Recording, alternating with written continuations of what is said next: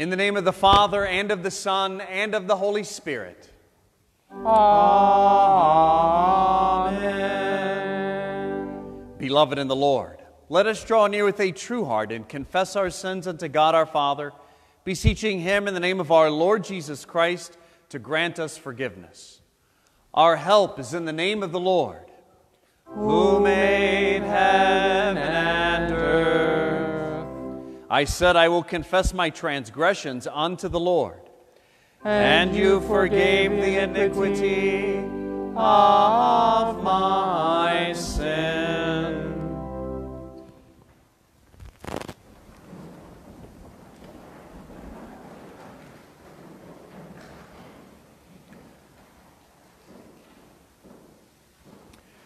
Almighty God, our Maker and Redeemer, we poor sinners confess unto you that we are by nature sinful and unclean, and that we have sinned against you by thought, word, and deed. Wherefore we flee for refuge to your infinite mercy, seeking and imploring your grace for the sake of our Lord Jesus Christ. O most merciful God, who has given your only begotten Son to die for us, have mercy upon us, and for his sake grant us remission of all our sins. And by your Holy Spirit, increase in us true knowledge of you and of your will, and true obedience to your word, to the end that by your grace we may come to everlasting life. Through Jesus Christ our Lord. Amen. Amen. Almighty God, our Heavenly Father, has had mercy upon us and has given His only Son to die for us, and for His sake forgives all our sins. To those who believe on His name, He gives power to become the children of God and has promised them His Holy Spirit. He that believes and is baptized shall be saved. Grant this, Lord, unto us all. Amen.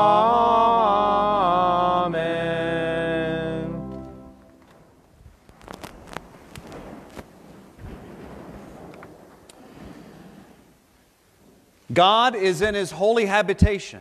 He settles the solitary in a home.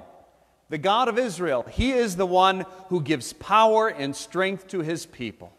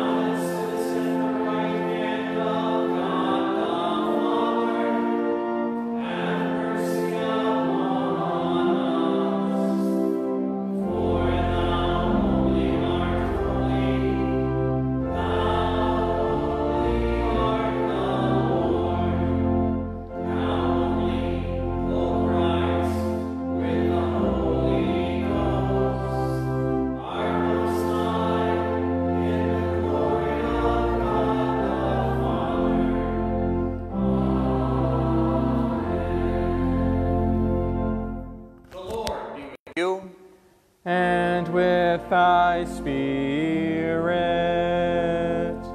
Let us pray. Let your merciful ears, O Lord, be open to the prayers of your humble servants, and that they may obtain their petitions, make them to ask such things as shall please you. Through Jesus Christ, your Son, our Lord, who lives and reigns with you and the Holy Spirit, one God now and forever. Amen.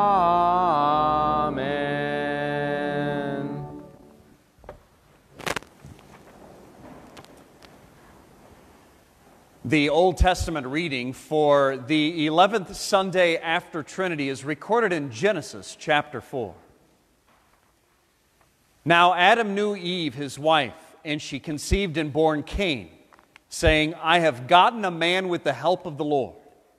And again she bore his brother Abel. Now Abel was a keeper of sheep, and Cain a worker of the ground.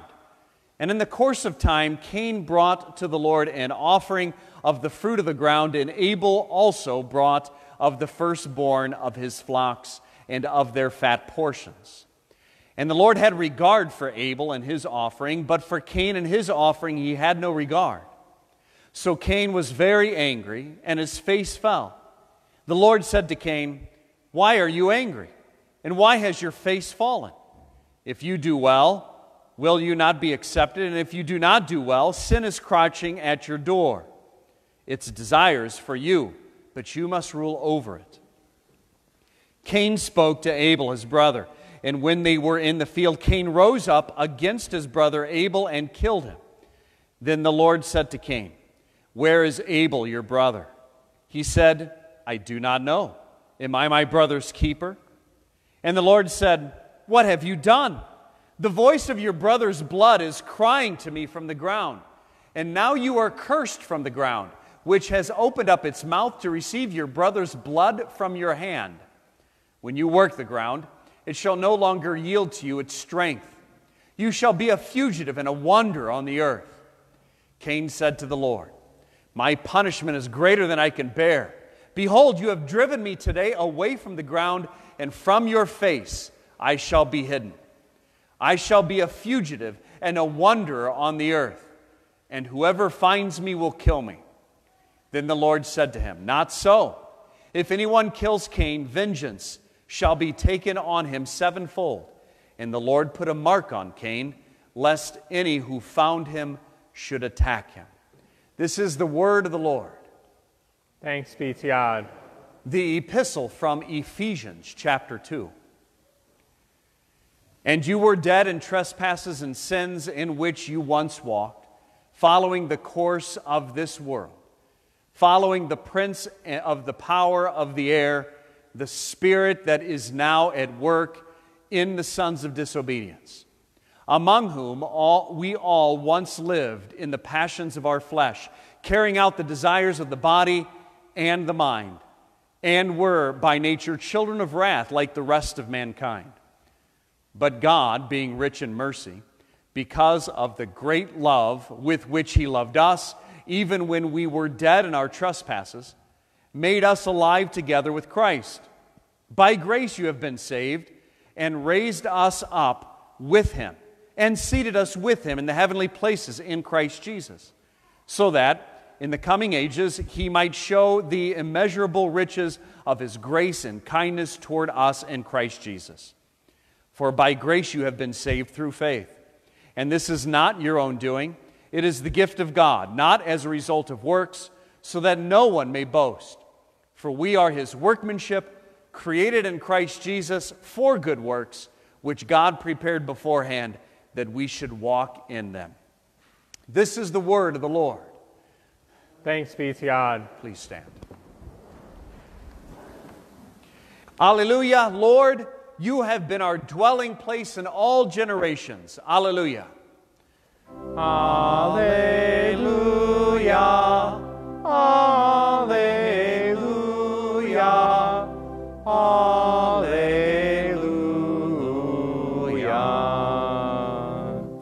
The Holy Gospel according to St. Luke, the 18th chapter. Glory be to thee, O Lord. Jesus also told this parable to some who trusted in themselves that they were righteous and treated others with contempt. Two men went up to the temple to pray, one a Pharisee and the other a tax collector. The Pharisee, standing by himself, prayed thus God, I thank you that I'm not like other men, extortioners, unjust, adulterers, or even like this tax collector. I fast twice a week, I give tithes of all that I get. But the tax collector, standing far off, would not even lift up his eyes to heaven, but beat his breast, saying, God be merciful to me, a sinner. I tell you, this man went down to his house justified rather than the other. For everyone who exalts himself will be humbled, but the one who humbles himself will be exalted. This is the gospel of the Lord. Praise be to thee, O Christ. I believe in God the Father Almighty, maker of heaven and earth and in Jesus Christ, his only Son, our Lord, who was conceived by the Holy Spirit, born of the Virgin Mary, suffered under Pontius Pilate, was crucified, died, and was buried. He descended into hell. The third day he rose again from the dead. He ascended into heaven and sits at the right hand of God the Father Almighty. From thence he will come to judge the living and the dead. I believe in the Holy Spirit the holy Christian church, the communion of saints, the forgiveness of sins, the resurrection of the body, and the life everlasting. Amen.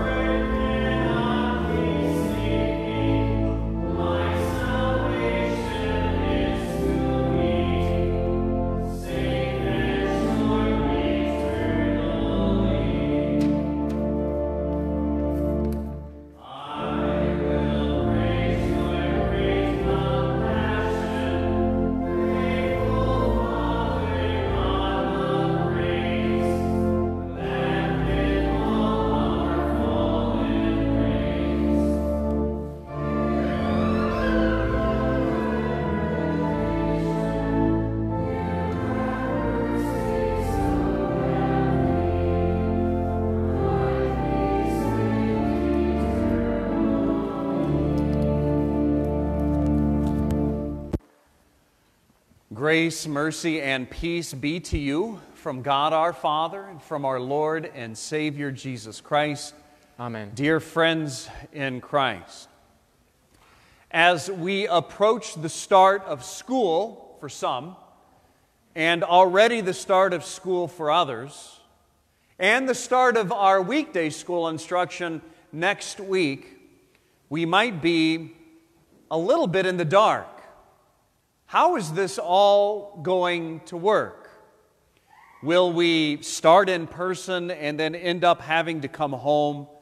How will this remote learning turn out? We've got a lot of questions and very few answers. It makes times like right now extremely challenging. Jesus didn't have this hard of a time with all of his teaching, we suppose.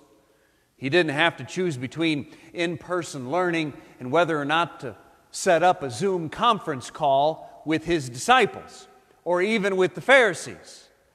Now, we joke about such things because anything that Jesus did and how he taught, nothing was easy. And quite a, in, in, in reality, it was, it was quite challenging. Today, in the, in the gospel reading about the Pharisee and the tax collector in the temple, Jesus is teaching something very important. And it's actually central to the Old Testament text, which is our sermon text for today. Last Sunday, we heard about Jesus teaching in the temple. And then he taught the Sunday before that about the shrewd manager in that parable. Jesus keeps on teaching his disciples and whoever might be overhearing what he is saying. And that's what happens when we get to about this part of the church year. In the middle of the Trinity season, we start talking more and more about how Jesus teaches, and specifically focusing on the teachings of our Savior to his disciples, sometimes to the Pharisees, and ultimately to you and me. His teaching is essentially what the Trinity season, especially in this non festival half of the church year, is all about. So we glean from Jesus what he says, but also not only what he says, but also to follow what he does, how he acted. What he does is how we are to do. Now remember, the church year is all about teaching, it has a story to tell.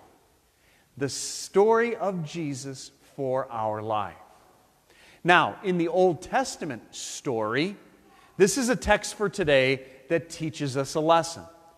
And to better understand what is taught, it's beneficial to get a little bit of a background. And you know it. You know it pretty well, in fact.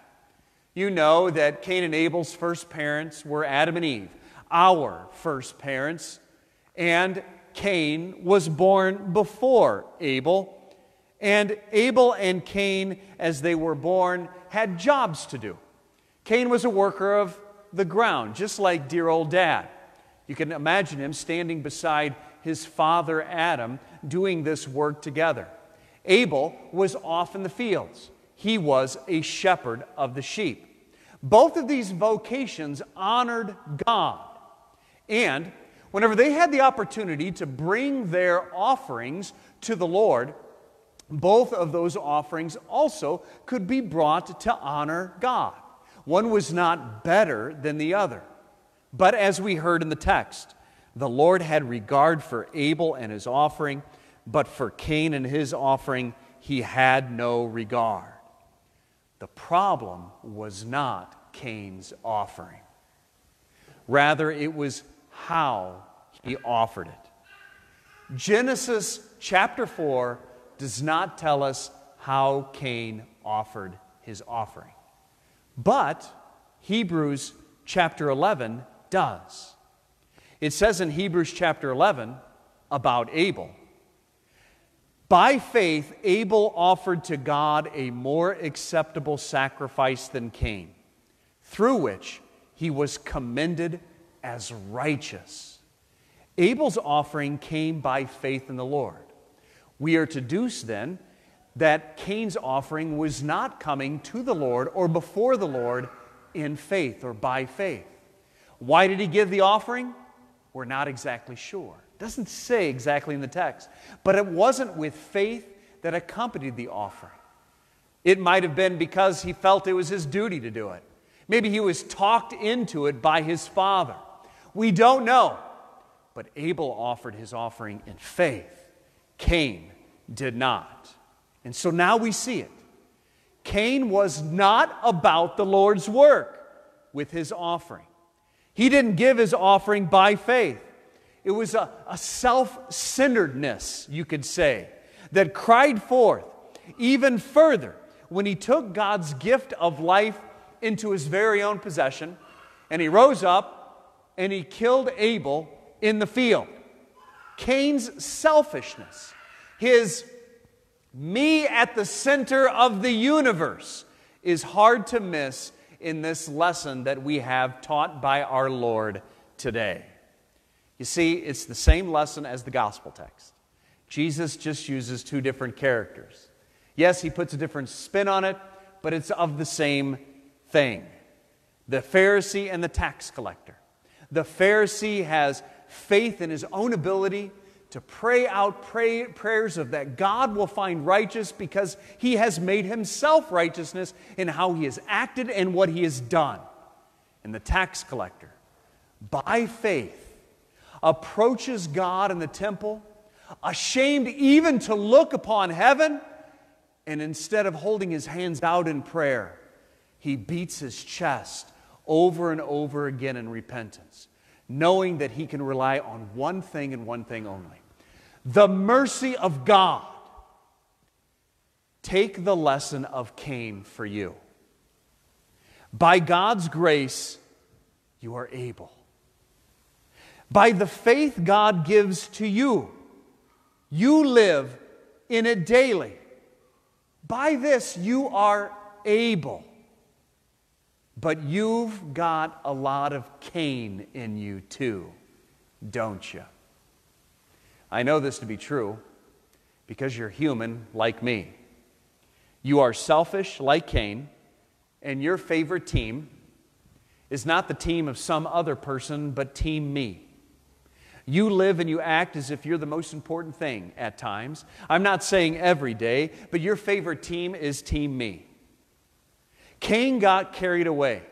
He was so jealous, so self righteous, so self centered, self, so self focused on himself that he didn't even care about his own brother's life. He thought he was so much more important that he took his, the life of his brother away from him so that only he would be the one that mattered. You see, Cain plays God.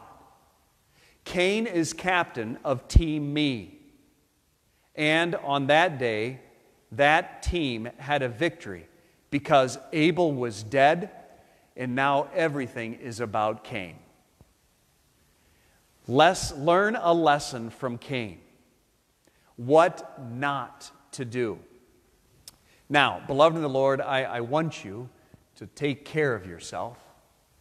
Take care of yourself because in so doing, you take care of your neighbor.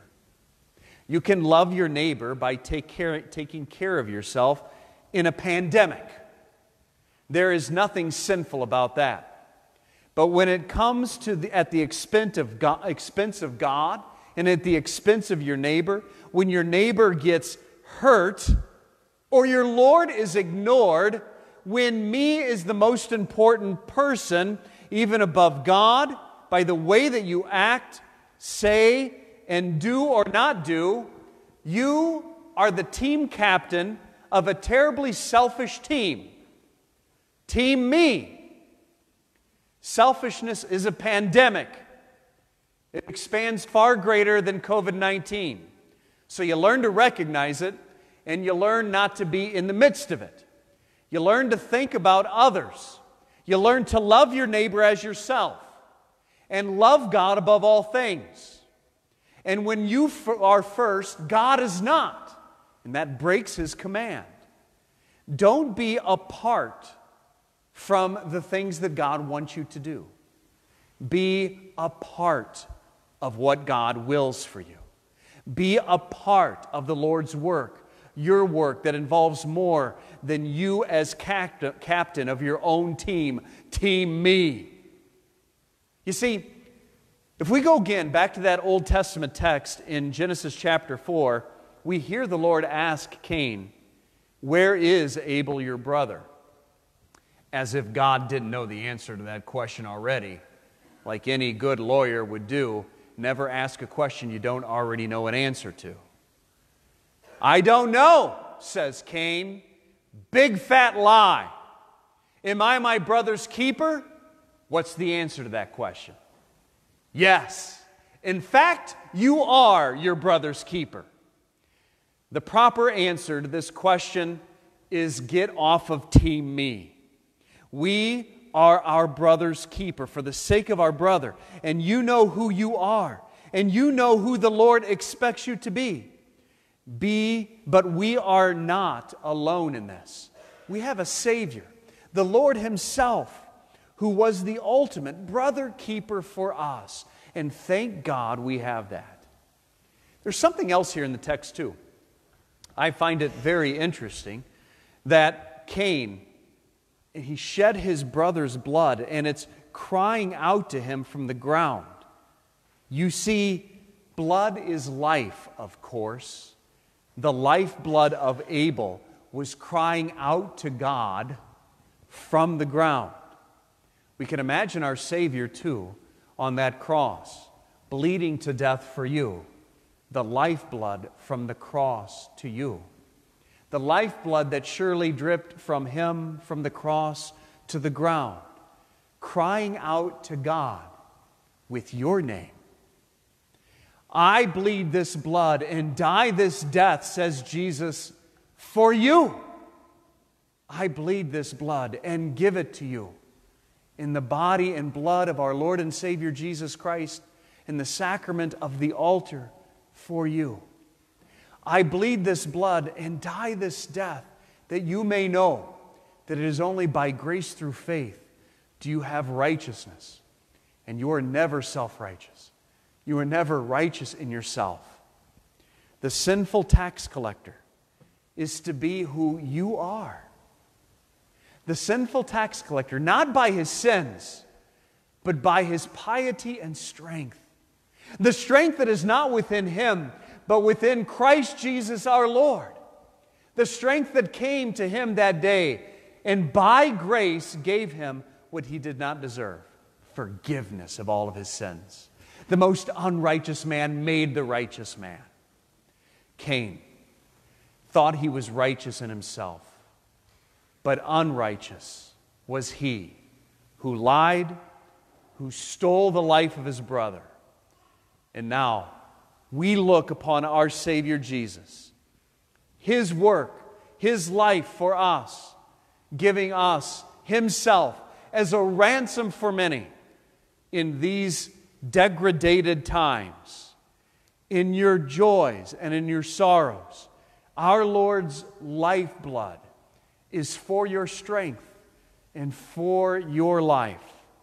The least selfish life of all. The life of our Savior gives all of Himself for you. In Jesus' name, Amen. Amen. The peace of God, which passes all understanding, shall keep your hearts and minds in Christ Jesus. Amen. Amen.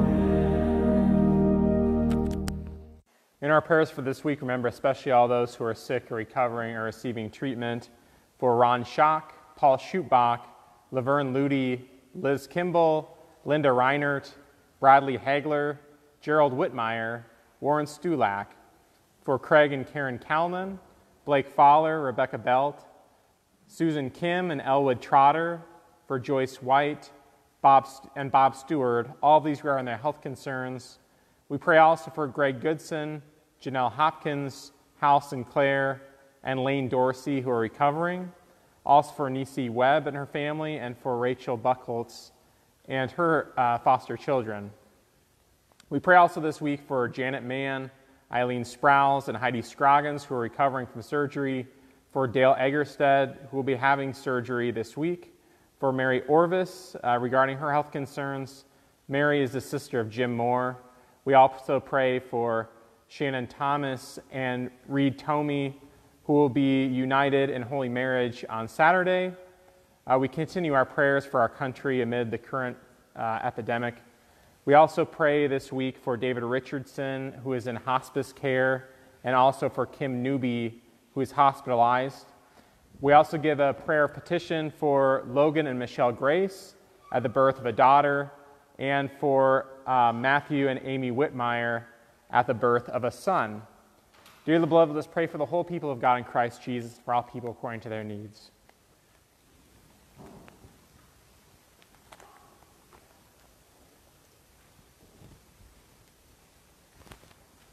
Be merciful to us, Heavenly Father for daily and much do we sin and transgress your holy will. For the sake of the perfect life and sacrificial death of Jesus Christ, your Son, our Lord, forgive our sins. Fill us with your Spirit that we would remain humble, never forgetting that we have been saved by grace through faith, which was not our doing, but by your gracious gift. Be merciful to our neighbors, especially those who have sinned against us and done us harm Give us patience and strength that we would deal with them gently and humbly, and that we would be ready to forgive as we have been forgiven. Be merciful to your church, both here and in every place. Send forth faithful servants to deliver your grace and mercy to sinners in need. Defend all pastors from arrogance and pride, and strengthen them in the faithful preaching of your word, that true unity in faith would be found wherever Christ crucified is proclaimed. Be merciful to our leaders, that they would exercise the authority given them with wisdom and righteousness, so that we would be enabled to live in freedom and peace. Be merciful to all those in need, especially children who lack food, clothing, and shelter, and provide for their needs. Look in mercy also upon all orphans who are in need of parents to care for them. Provide them with loving fathers and mothers until such provision is realized Bless those who care for them, that they would do so in love, which is filled with mercy and compassion. Be merciful, Lord, to the sick and sorrowing, especially Ron, Paul, Laverne, Liz, Linda, Bradley, Gerald, Warren, Craig, Karen, Blake, Rebecca, Susan, Elwood, Joyce, Bob, Greg, Janelle, Hal, Lane, Nisi, Rachel, Noah, Emmeline, Jeanette, uh, Eileen, Heidi, Dale, Mary, David, Kim, and our country amid this epidemic, that they would receive not only temporal relief, but that in all times and places and under all circumstances, they would know the forgiveness of sins and the hope of eternal life won for them in Christ Jesus. Bless Shannon and Reed as they are united in the holy estate of matrimony this Sunday, this Saturday. Grant that they may be a reflection of your Son and his bride, the church. We thank and praise you for the birth of a daughter to Logan and Michelle, and also for the birth of a son to Matthew and Amy. Protect and preserve these children unto the waters of holy baptism. Into your hands, O Lord, we commend all for whom we pray trusting in your mercy through Jesus Christ, your Son, our Lord. Amen. Amen. Lord, remember us in your kingdom and teach us to pray. Our, Father, who art in heaven, hallowed be thy name. Thy kingdom come, thy will be done, on earth as it is in heaven. Give us this day our daily bread, and forgive us our trespasses, as we forgive those who trespass against us. And lead us not into temptation, but deliver us from evil. For thine is the kingdom, and the power, and the glory, forever and ever. Amen.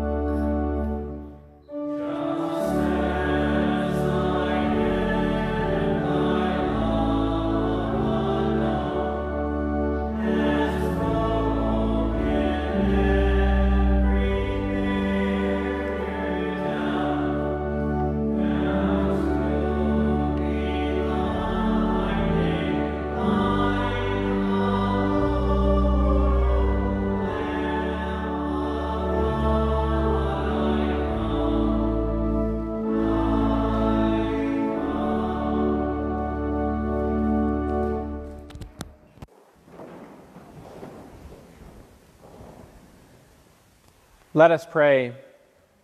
Blessed Lord, you have caused all holy scripture to be written for our learning. Grant that we may so hear them, read, mark, learn, and inwardly digest them, that by patience and comfort of your holy word, we may embrace and ever hold fast the blessed hope of everlasting life. Through Jesus Christ, your Son, our Lord, who lives and reigns with you in the Holy Spirit, one God, now and forever. Ah, ah, ah.